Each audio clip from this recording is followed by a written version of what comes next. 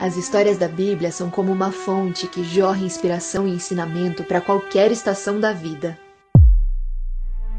Há milhares de anos, na época do rei Davi, uma mulher se levantou no meio do seu luto. Seu nome era Rispa. Ao perder seus dois filhos, se viu diante de uma grande decisão: desistir da vida ou encontrar honra em meio à morte. Uma palavra forte para os dias de hoje, que nos fará sentir o amor que enxuga todas as lágrimas dos nossos olhos.